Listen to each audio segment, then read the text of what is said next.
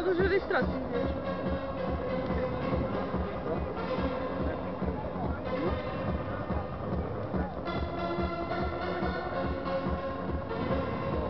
Ja osobne sa veľmi teším na súboj týchto dvoch aut a je to cool.